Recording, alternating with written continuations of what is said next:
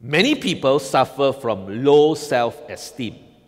All right? When you think about yourself, you always put yourself down. You, you, you feel unworthy. You, you feel that you do not measure up to other people. So you have, when people talk about, uh, you know, things about, you, you just feel like, I don't fit in. All right? I'm not worthy to talk about such things. I don't feel like I am good enough. And of course, many people think very pessimistic.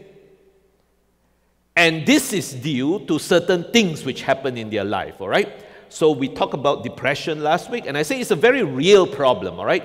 It cuts across races. It's not specific to any race, it's not specific to any uh, age, it's not specific to a certain uh, country. It is through the whole world, cuts across everybody's uh, age, race, gender. It doesn't matter.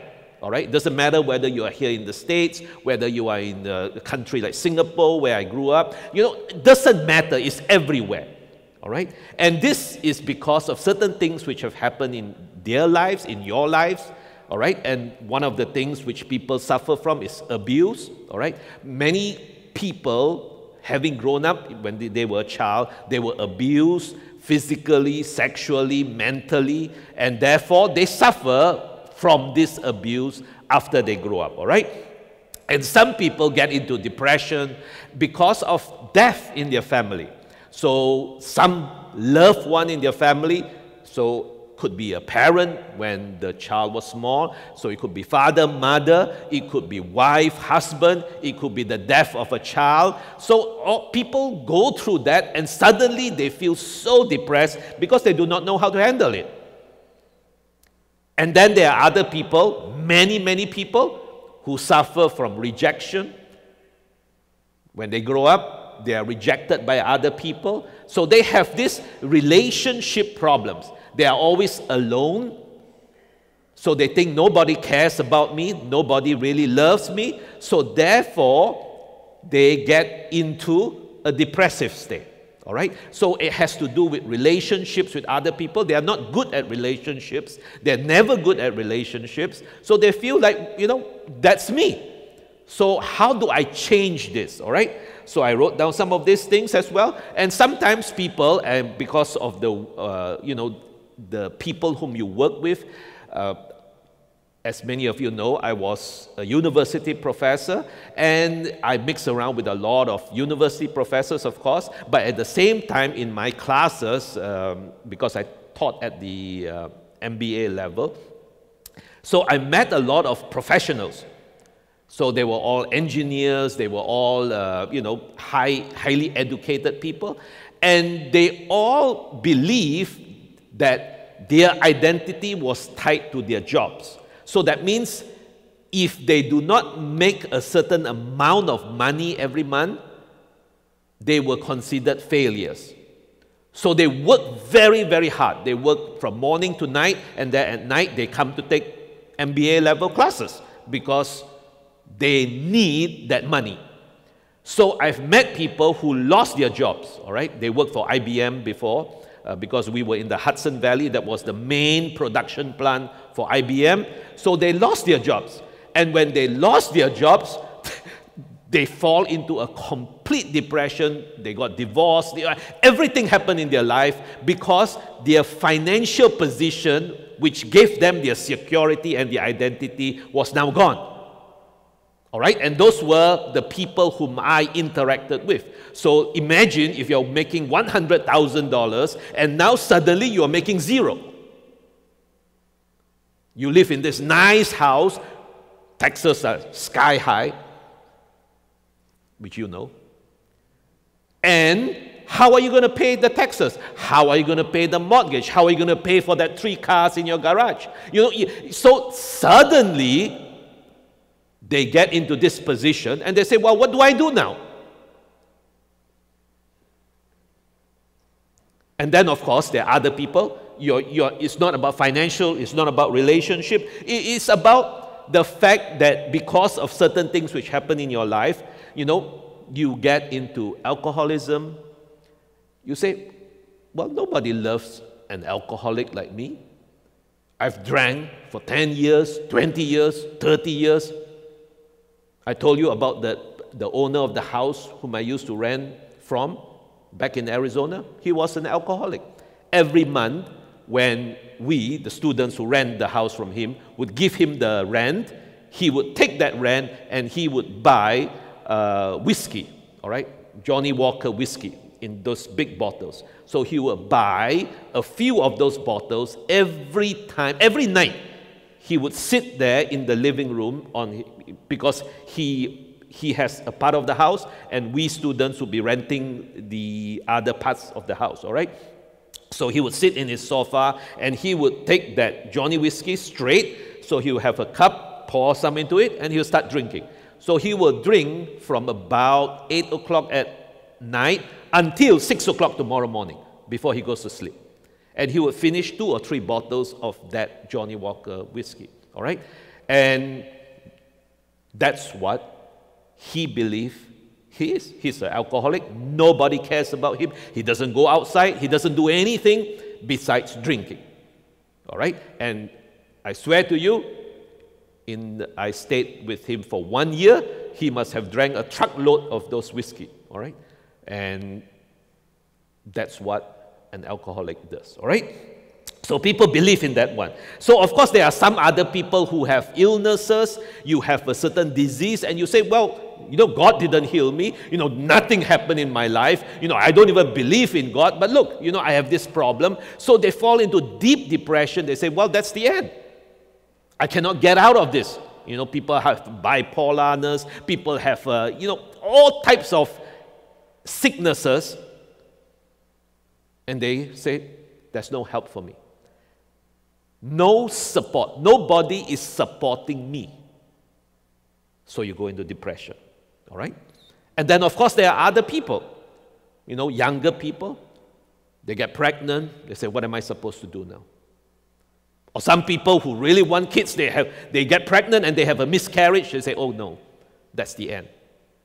So you see, it's, all, it's so, you can list down so many other things which I didn't think about which can cause depression in people, all right? Some people, marriages, failed marriages, some people go through divorce, some people, it, it is so emotional, it is so traumatic. People come back from wars, they suffer from PTSD. You know, all of these are very real things, all right? It's not something to be laughed at. It's not something that you say, oh, no, you don't have a problem. Yes, you do have a problem because of the circumstances in life, because of certain things which have happened to you, all right? Either as a child, as an adult, as growing up, young teenager to older person. All right? And sometimes if you're older, you feel like, hey, nobody cares. My kids are all gone. You feel completely alone. Nobody cares about you. All right? So you see, all of these things are real and puts people either into great stress, into anxiety, or into depression. All right? So, how does the person feel after that? Once you get into that position, all right, so I wrote down some other things. Well, of course, you feel sad. Sadness, hopelessness, and the big one, worthlessness. All right? Who can love a person like me? Who can love an alcoholic? Who can love a drug addict? Who can do, I mean, you know, and, and you see, the problem is this. The, let us say the alcoholic says to himself or herself, Who can love me? I am unlovable, all right? Because I am not worthy to be loved. So, how do you think that person who feels unworthy to be loved will behave? Will behave in a manner that reflects how he or she is feeling, right? So I'm unlovable, so I'm going to react in an unlovable manner to everybody. And the moment people see how you react, they avoid you even more. Because it's a spiral going downwards, as I told somebody last week. It's not something that you can say, well, you know, I hope that everything will be better. Nothing will become better. So I told that person, you say, it's a spiral. You don't feel good about yourself. You say, nobody loves me. So you behave like nobody loves you. Then the moment people see that you behave that way, now nobody loves you even more. And then you see the results of that action and you say, look, it's true. Nobody loves me. So therefore, I'm going to behave even more antisocial. And then when people see that, people avoid you more and you get into a deep depression. And then one day, as I told you many times, once, you know, a message which I gave long time ago, people consider suicide. And it has nothing to do with how much wealth you have or how poor you are. It has nothing to do with all of that. All right? You, you, I see a lot of this on the news. People, you know, very, very rich people, singers, rappers, you know, one just committed suicide just the other day, all right? Extremely rich people, they commit suicide because they go into this hopeless, depressive state and they say, well, I'm going to commit suicide. All right? So, and of course, many people may not be at that stage. You may be at a better stage, but you still feel very irritable. You have lots of anxiety. So, little things which don't bother other people bother you a lot because of a certain state you are in. The other things is loss of interest, trouble thinking, trouble sleeping, tiredness. You, you see, it's all related to having this anxiety and this depressive state you are in. And of course, the big one weight loss, weight gain. All right?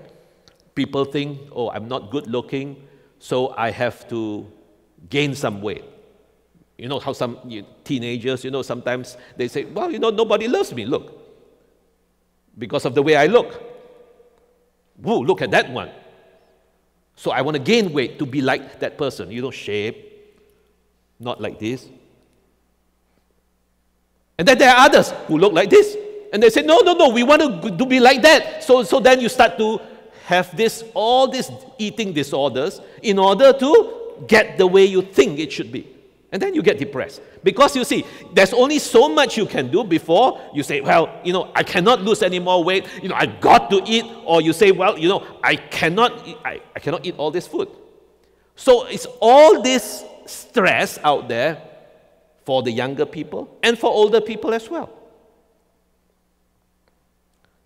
And many times, in your depressive state,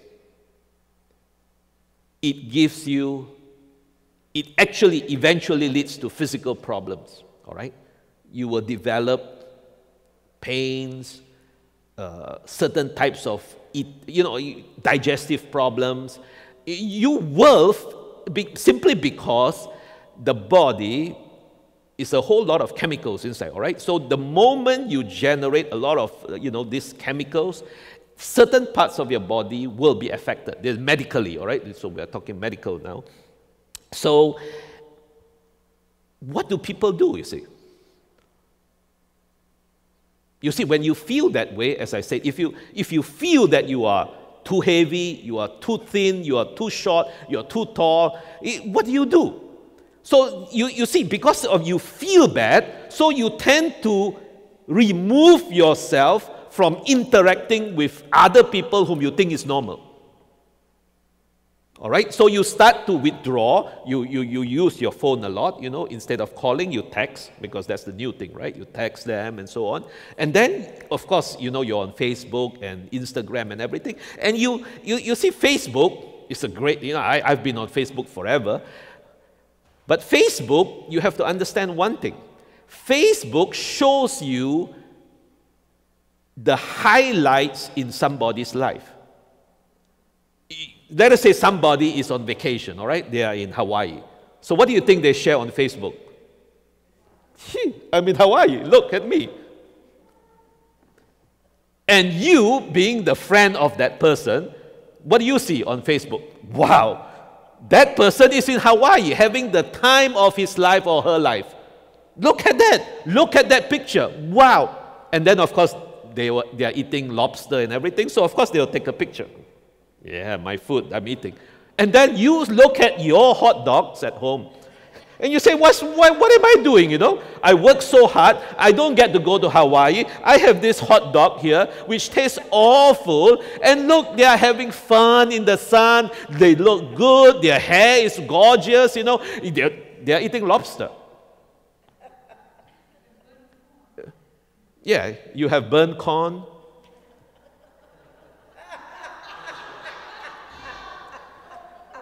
How do you think you feel? Look, look, let's be real. You see, let's talk real here.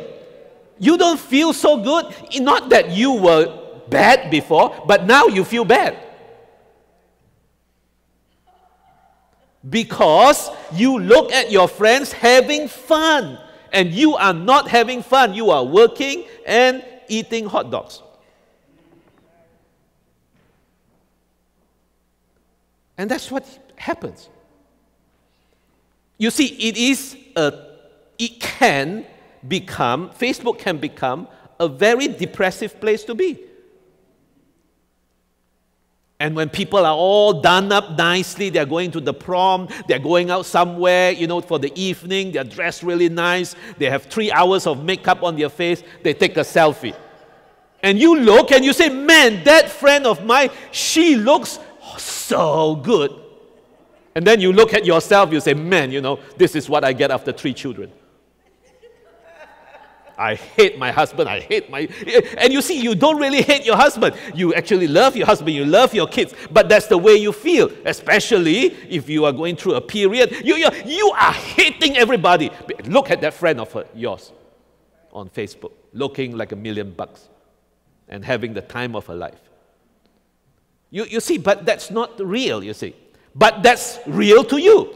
So you start to have stress, anxiety, and ultimately you avoid people. You start to avoid more and more people. You cannot mix around with people anymore. You're not a normal person. Because the way you think you are, you are going to become that person. And of course, for all those people who, who have been abused, you know, you know, you went through tough times in your life, you feel the shame of it all, you know. You know, I've seen men, who, uh, I've talked to men, all right, not just women, men who were abused when they were young, and they are always ashamed of themselves. The shame of it all. You think that somebody else will find out oh, what happened to me when I was young? What happened to me when I was a teenager? You know, I know, I read all the statistics. I told you I work in a university. Women get raped. Men, you know, I, you, you have to understand that that is the world. But the shame is very real. So, once again, you feel unloved, rejected, and of course, as time goes on, you get into a depressed state. I mean, what can you do about it, you see? Because it's hopelessness, all right? It's nothing, you, you believe that nothing can be done. Nobody cares. Otherwise, they would already be around you. But nobody wants to be around you because nobody wants to be around a person who behaves in a depressive state. So that's the spiral. You see, you believe, you, you want people to give you that love, that acceptance. But nobody wants to give you that love and acceptance because they look at you and they say, Why should I give you that love and acceptance? Because you are so unpleasant to be around. But you actually don't know that you are unpleasant because you are in a hurt state, so you don't know that you are doing it. But other people can see it very well. And, and, and the whole thing is this you, you see, when you are in that state, how do you recover? So, this is the usual thing, all right? To do something, you know, people say, well, why don't you do something, you know, and then people will appreciate you. And this is what children were taught. Okay? You took out the rubbish, the trash when you were small, and your mother said to you, Well done. Correct? Because you did something. You did something. You did something, and somebody else will be pleased with you. Therefore, the only way to earn to earn love and acceptance and a congratulatory note is to do something. So you want and you seek this love and approval from other people by accomplishing something. So you always try to earn this love from other people. And how do you earn love? So you want to be richer, all right? If I make more money, people will love me. So that's why, you know, you have uh, people who are in the, you know, entertainment industry. You see, they, they grew up from broken homes. They said, you know, well, we have nothing. So if I make enough money, if I've become famous enough, if I own enough stuff, people will love me. And at 35 years old, they commit suicide and they die. Actors, actresses, world famous personalities. Just this year alone, there are so many, 2018, high profile people who committed suicide. People whom I watch on TV. I don't know whether you watch this show, you know, uh, uh, Laura and I, we, we like to watch cooking shows, and of course, there was this chef, Anthony Bourdain. We watched him for many, many years before. And he was in France, and I think he committed suicide there. Everybody was completely shocked. World famous chef travels around the world, and you think that he had the greatest life. He couldn't take it anymore, committed suicide. Didn't show up for production next morning. People went to his room, and he was dead. You see, because you think that the way to get out of depression is to try to earn somebody else's approval by having more things, being richer, all right, and to do more good things.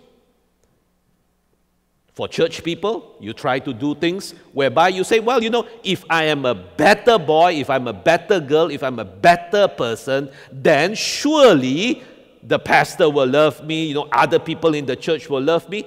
And you see, that's the thinking which has very short term benefits but doesn't heal anything. It will help you for a while. You do something. Remember last week I told you, yeah, people will say, okay, go bake a pie. Baking a pie is good therapy. But how long does it take to bake a pie? Yeah, and then of course, eating it gives you pleasure for another while. Or makes you feel guilty actually after that. After you eat it, I mean, while you're eating it, it feels good. After you eat it, then you feel guilty for a week. So, this is what people do in a depressive state. And you have no idea how to get out of it, all right? Okay, now, you go to church, okay? I'll, I'll, I'll share with you this from my heart, all right? You go to church that because you are a believer in Christ, and let us say you are in a depressive state, and you go and you, and you say, I really need help, all right? And I'll show you exactly where the scripture is where people try to tell you to do this, all right? This is quite good, all right? So I want you to hear this. In, it's found in Philippians chapter 4, all right? Philippians chapter 4, starting from verse 6, all right? Here is something which many, many pastors have used to help people come out of worry, anxiety, stress, depression. All right? Let's read this. Be careful for nothing. All right? That means don't worry about anything. Don't worry. Everything by prayer and supplication with thanksgiving, let your requests be made known unto God. We have many requests, all right? We're in a depressive state. We need jobs. We need relationships. We need, uh, you know, to change the way we see ourselves. So, all of these things. So, the Bible says this don't worry. So, we, we think that is very good because, you know, Jesus talks a lot about being, not being worried, all right? So, let, let's, let's unpack this for a while. First of all, what, Jesus, what the Bible says, that's definitely true. Why are you worried? How does it help you if you're worried? So let us say I worry about uh, not being tall enough. All right? Okay? So let us say you're a teenager, you want to play basketball, but you are only five feet five. You look at your friends, they are seven feet five. So you worry that you are not tall enough. Now, does worrying, I mean, that is actually from the Bible, does worrying add one inch to your height? So I worry that I'm short. It doesn't help you in any aspect. It doesn't change anything, all right? And of course, uh, you know, back in the, I think, one of the first few messages which I preached, you know, 20 years ago, you know, I, I used to say this. Uh, human beings are the only people who worry. All right? Uh, animals don't worry. Have, have you ever seen, uh, you know, or birds? Have you ever seen a bird on a branch suddenly fall over and die from worry? Have you ever seen uh, an animal, a deer, standing in the field die from anxiety. You, you see, it doesn't happen. No animals worry. They react, yes, but they don't worry. Because God made us higher. We have a big brain. And in that big brain, we worry. But God says, don't worry. Now, it's a very good advice. But many times, it's very hard to do it. Don't worry. What do you mean, don't worry? You see, it's good advice, but people worry. Everything by prayer. Okay, what is prayer? Prayer is talking to God, communicating with God, all right? And supplication with thanksgiving let your requests be made known to God. And the peace of God, verse 7, which passes all understanding, shall keep your hearts and minds through Christ Jesus. Okay, so now he's talking about the peace of God. Finally, brethren, here's another step. Whatsoever things are true, honest, just, pure, lovely, good report, any virtue, any praise, Think on these things. Think on these things. All right, so this is the advice you get in the church. All right, number one, don't worry. You agree to it, okay? But you worry. And then the next step is when you pray, you know, and whatever you do in this life, just think about these things. Think about things which are true, lovely, honest. And if you try it, it really works. But the thing is, in your flesh, you are going to see things which are not true, which are not good for you, and you are going to live in this. When you look at the politics, when you look at life itself, when you talk to people, you are going to encounter a lot of things which are impure, a lot of things which are not honest, a lot of things which will pollute your mind. So, to do this, all right, on a consistent level, 24 hours a day, I find to be unrealistic. I know this is the Bible. And if you can do it, that's great. You see, if the pastor tells you, don't worry, okay, you lost your job, all right? You have been abused. And the pastor says, Don't worry.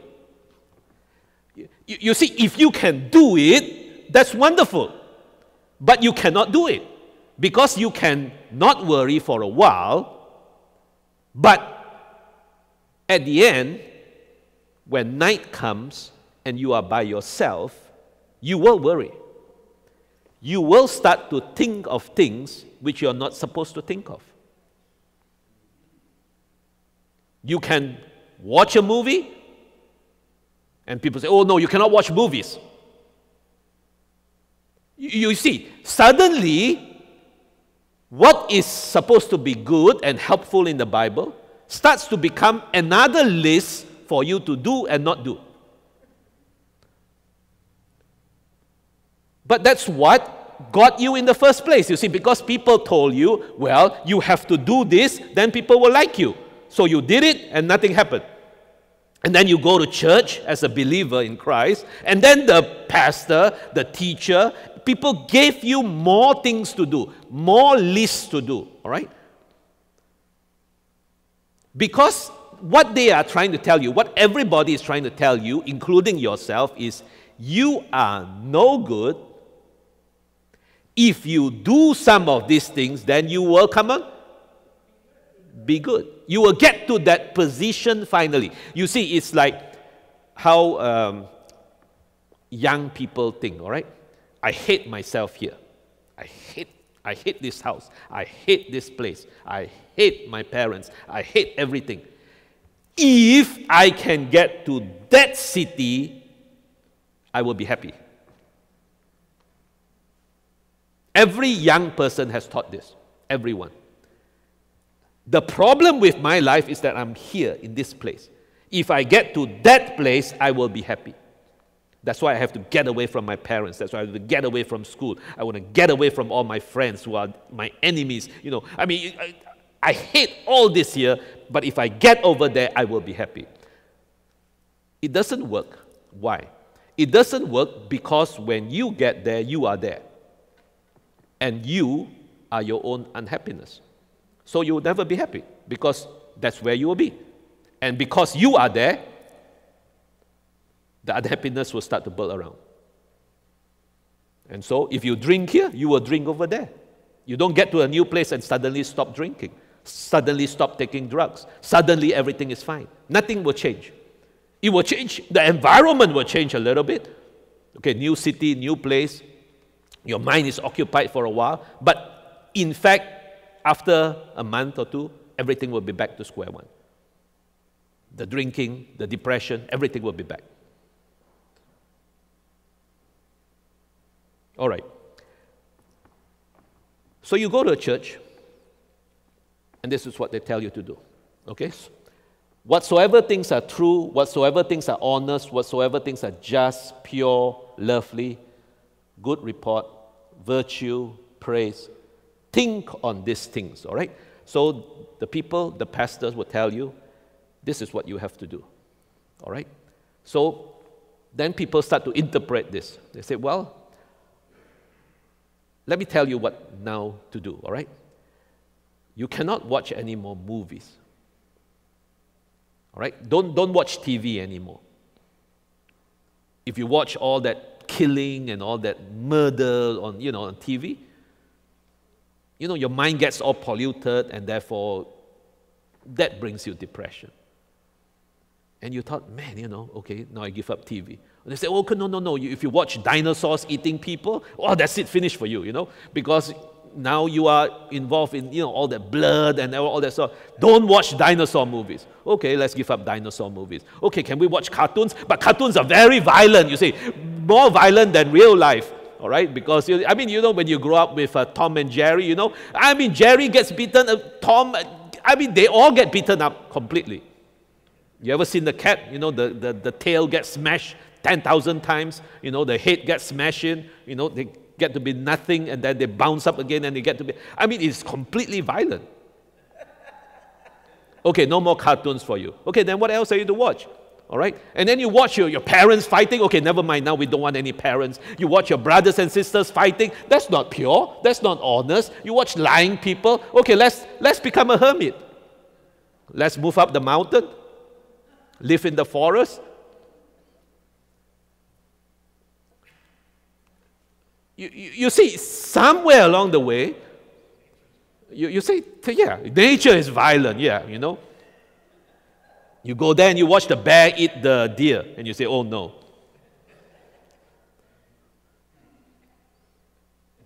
You know, Bambi died a thousand deaths.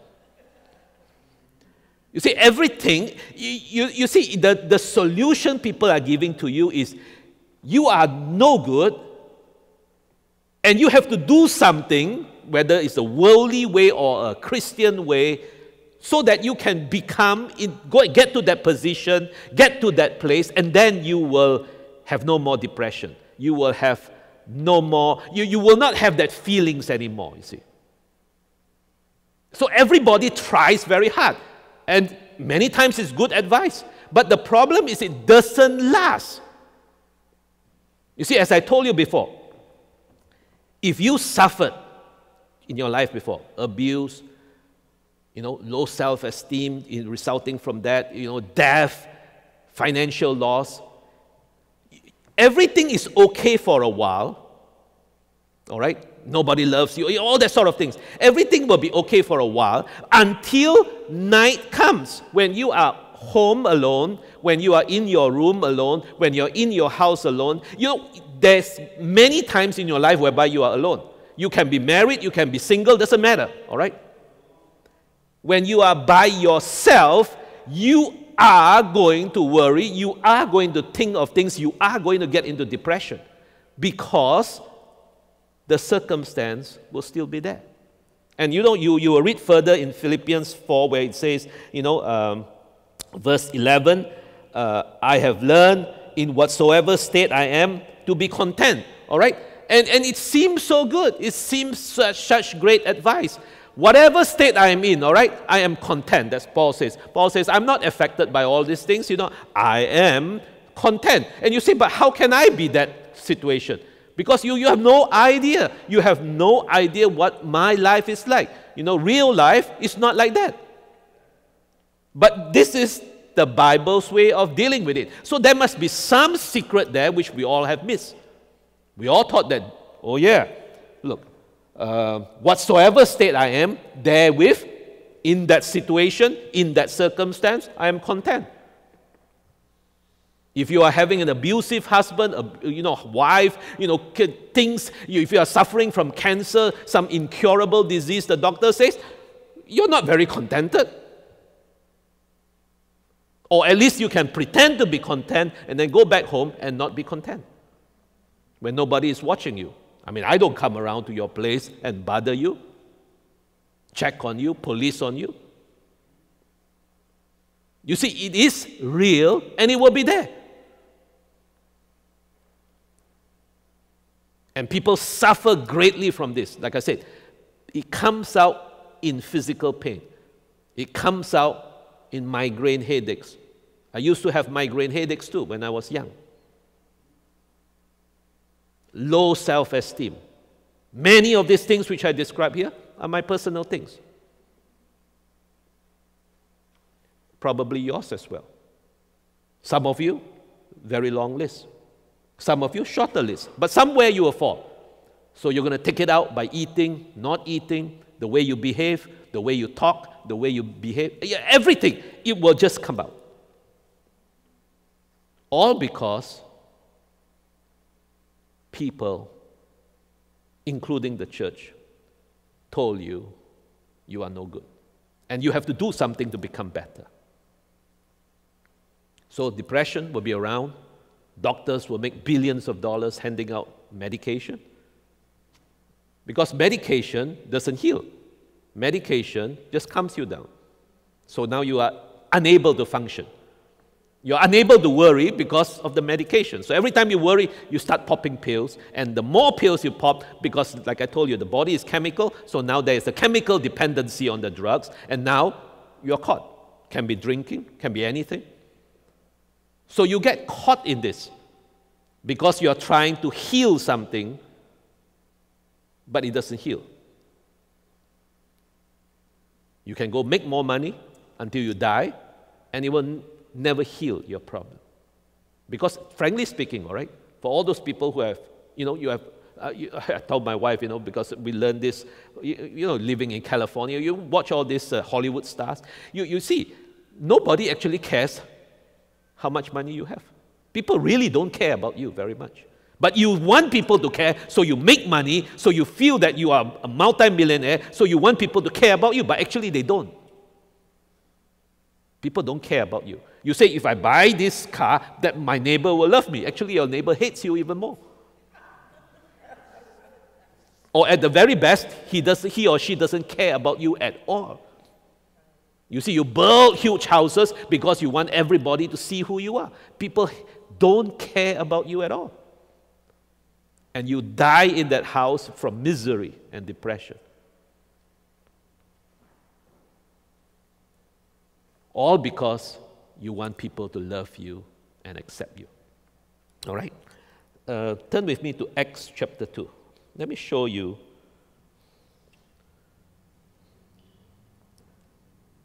This very familiar scripture, all right? Acts 2, verses 1 to 4. Now, this, of course, is Pentecost, all right? When the day of Pentecost was fully come, they were all with one accord in one place. Next verse. And suddenly there came a sound from heaven as of a rushing mighty wind, and it filled the house where they were sitting. Next verse. And there appeared unto them cloven tongues like as of fire, set upon each of them. And verse 4. And they were all filled with the Holy Ghost and began to speak with other tongues as the Spirit gave them utterance. They were all filled with the Holy Spirit. All right? Now, let me address this problem. I, have talked about this before, but now I want to link it back to how you feel. You see, the concept that you are no good worthless until you achieve something is a lie. When you put your belief in Jesus, you say, Jesus, I believe that you died. You paid the price for my sins. You paid the price for the whole world. The moment you put your faith in Jesus, that very instant, that very instant, your spirit, all right, and as well as your mind, because we, the Bible says you have now the mind of Christ. But of course, your mind is influenced by your body. The very instant you put your faith in Jesus, you become completely perfect because of Christ in you. Christ, you died with Christ. And when you die with Christ, you are also resurrected with Him. So you are actually perfect spiritually as well as having the mind of Christ. Your body is not, but you are as the Spirit, all right? And you are the Spirit man. So, biblically speaking, you are perfect. And when you are perfect, because of Christ in you, the Holy Spirit now comes and dwells in you. I told you many times before, in all my preaching, the Holy Spirit doesn't come into a dead body. The Holy Spirit doesn't come into a rotting body. The Holy Spirit doesn't come into imperfect people the Holy Spirit comes into you because Christ made you perfect. So, all these people, disciples, all of them, they were waiting up there in one accord because they all believe in Jesus Christ. And Jesus says, Look, you wait here, I'm going to send you the Comforter. They were all in one accord, in one place, in one accord. They were all in Christ together. And they were all perfect. But, but if you look at their lives, they were a mess. Some were very fearful. Some have been abused. Some have been tortured. You know, every, every, every type of person was up there. Fear, low self esteem, people who didn't think they were very much, people who were persecuted. all up there together, and yet the Holy Spirit filled them. Why? Because in God's eyes, every one of those disciples up there were considered perfect. Every one of you here, yes, through all of those things which I mentioned, yet God sees you as perfect because of Jesus in you. And if you do not catch that revelation, you believe that you still have to do something to get there, then you are believing in a false gospel. Because if you have to do something in order to earn God's favor, in order to earn salvation, in order to earn that position as son and daughter, then you are believing in a false gospel. Somewhere you have been taught a lie. That is a gift from God. That's why it's called in the Bible a gift of righteousness. It was given to you free the moment you believe in Christ. So you see, let me explain this again. The moment you receive Jesus Christ, you already are there. You do not have to become what you already are. You are there already. You have to learn. You have to study. You have to change your mind, as the Bible says. Even though the mind of Christ was given to you, but your old mind, with all its old thinking, has to be trans- changed, has to be transformed. But there is nothing that will change in you if you do not let the Holy Spirit and Jesus change you. You will be exactly the same person as you were before, even though you are now a Christian. So you already are. You don't have to become. And people say, well, you know, now I have to go seek, I have to go find something, even though I'm a Christian, so that I will have something. You know, every gift of God was given to you at that instant by the Holy Spirit that instant. So you are always, you're thinking, I don't have enough. I, I have to do something, I have to get something. You know, there must be something I must do in order for me to get this. But you're already given it. You just don't know it. So it's not something that you do to get to that position because you're already at that position. Many people say, you know, yeah, you know, um, yeah, my life sucks right now, but you know, the best will come one day. You know, I mean, it sucks, man. I mean, you know, everything is wrong about me. Actually, there's nothing wrong with you at all. Because the best is not around the corner. The best is in you already. His name is Jesus you are completely unaware of who you are. So you run around all the time, you know, with wrong thoughts. You see, I told you, abuse as a child, abuse as a teenager, rape, used by other people. How are you going to ever recover from that? Depressed your whole life. You no matter you see, because you think you have to do something in order to get out of this abuse. But you see, the restoration is already yours at that moment, you believe in Jesus. It was already given to you. Now you have to unpack that gift. People say, uh, what about death? I told you death. Death destroys many people. People are so depressed because their son died, their daughter died, their parents died, their wives died, their husbands died. They say, oh, you know, I, I woke up, my husband was dead. And they get into depression. And they say, my son, my husband, my wife, my daughter, my, you know, they passed away, they died. Once again, that was already soft. You see, they didn't pass away, they didn't die. They passed on into the land of the living, called heaven. They didn't pass away like, poof, okay, they're gone. Okay, now nothing. Oh, they died. The worms are eating my loved one. No. Death was solved and conquered by Jesus as well. You see, your loved one passed on into a better life heaven. You are the one not enjoying your life.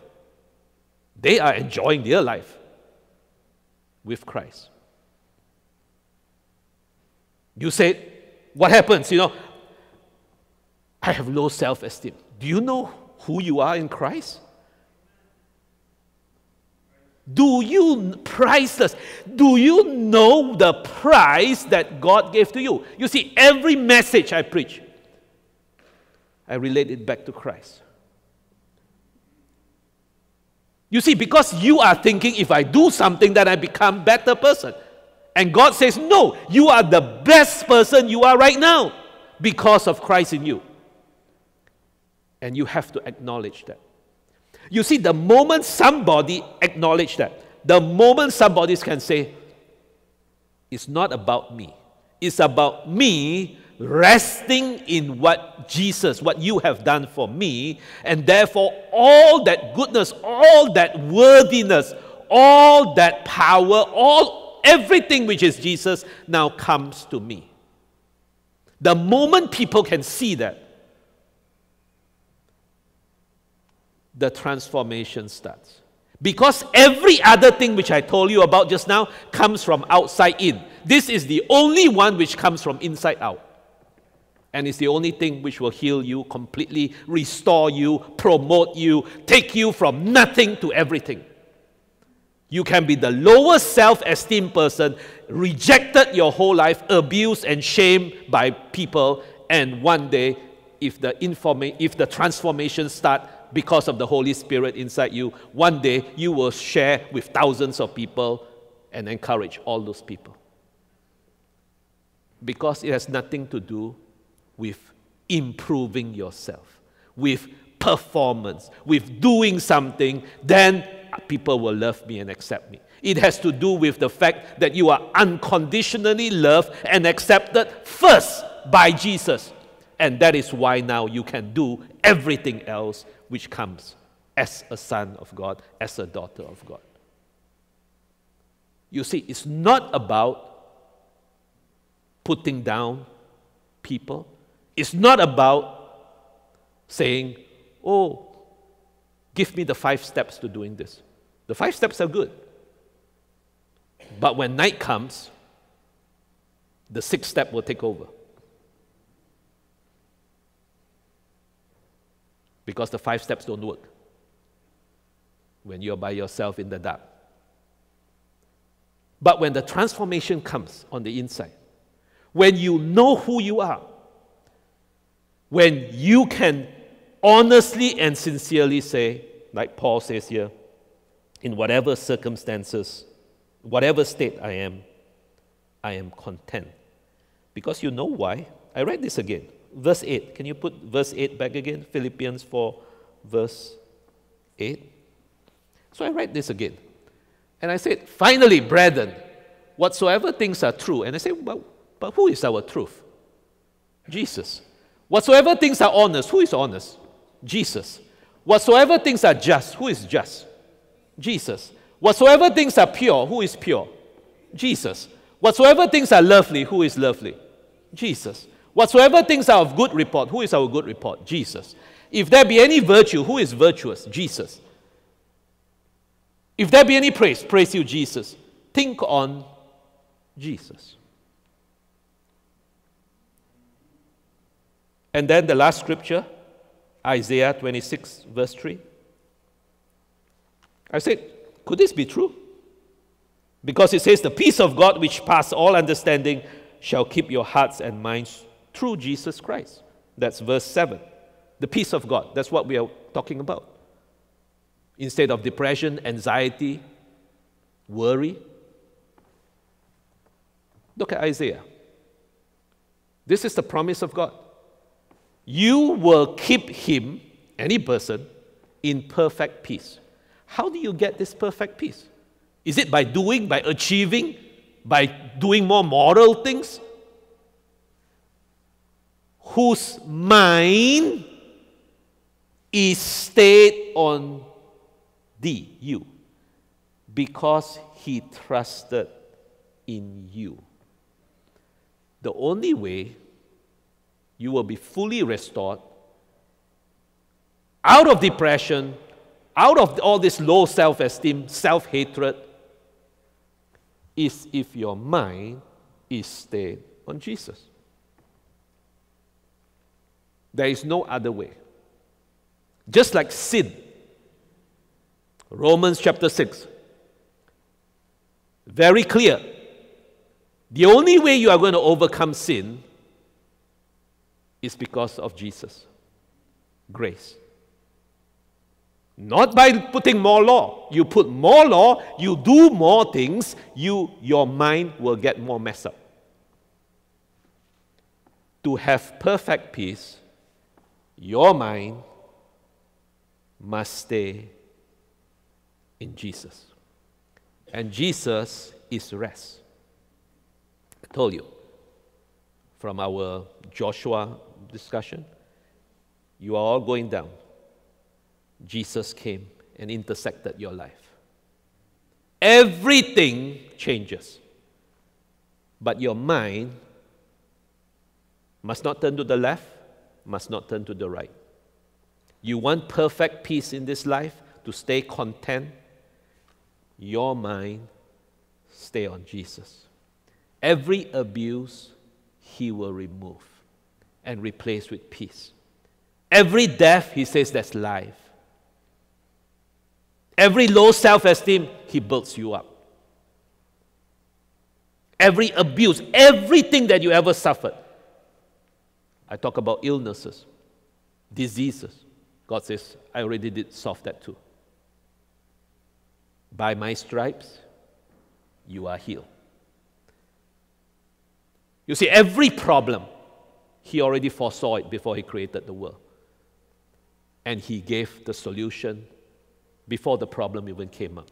Sin problem, Adam. Who do you think existed before Adam? Jesus.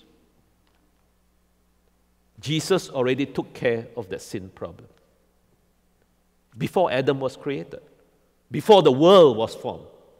Yes, we live in a fallen world. We are going to get affected by this. And you are going to go through bouts of, like I said, all those things which I mentioned. But you want perfect peace? Whose mind is stayed on? Come on. Does he tell you a list of things to do? You want peace? Do this. No. He says, You want peace, which passes all understanding? And you go back to Philippians, read verse 7. Same thing. You will keep him in perfect peace, whose mind, that your mind, stay on Jesus. In the morning, say, Thank you, Jesus. It's going to be a wonderful day because of you, Jesus. When you go to school, thank you, Jesus. No, you're with me today. I'm going to have a great time. Even if nobody talks to me, I'm going to have a great time. Oh, I'm beautiful. I'm wonderful. I'm highly favored. Yeah, you know, I'm going to be a great student. I'm not the smartest. Hey, God will give me His wisdom. I'm going to be smart. You lost somebody? Oh, thank you, Jesus. You're always with me. You never leave me nor forsake me. My loved one is in, bed, is in heaven. He didn't pass away, didn't just die. He's with Jesus. She's with Jesus. Oh, I've been abused. Yeah, but that was long gone. I have a new life now. You see, every problem ever that you ever went through with was dealt with by Christ at the cross and even before that. The solution was always given before the problem came. Original blessing always comes before original sin. Never does God say, okay, you are created, now go and live in this sinful world and go fend for yourself. Go through the depression, go through the abuse. Yeah, go take drugs. Never. We put ourselves there because we think it's something that we need to do when God actually already did it. Jesus did it. He did it. He really did it for you. You are perfect in Christ. No matter what you have been through, you are still perfect. That's why the Holy Spirit is in you to remind you that every day. Remind you of what Jesus did for you. And every time in your dark nights, the thoughts coming back, the worries coming back, depression coming back, you think how bad you look, how bad you feel. The moment you sense that, don't go do something, don't go reach for the drug, say, Holy Spirit, you are in me because Christ paid the price for me. I'm perfect. And you go over that, your mind staying on Jesus, and the peace will come down. Peace of God. And you go to sleep like a baby. And you wake up, feel like a teenager. Oh. You want this? Or do you want to take drugs? I've seen so many people taking drugs, painkillers. Oh, yeah, I feel bad. Two pills. But the two pills don't work now so much because your body gets used to it. Now you have to take what? Four pills, yes, four pills. And after some time, the four pills don't seem to work. What, what do you take now? Yes, you know. Because you feel you have to do something. When you actually are already in that position because of Jesus in you.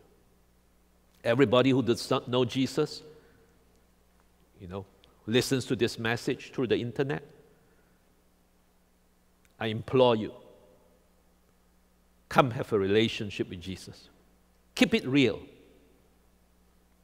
Not morality, not religion, a relationship with Jesus whereby He bless you, He loves you unconditionally, and He accepts you really just as you are. That's how much He loves you. Have a relationship with Jesus.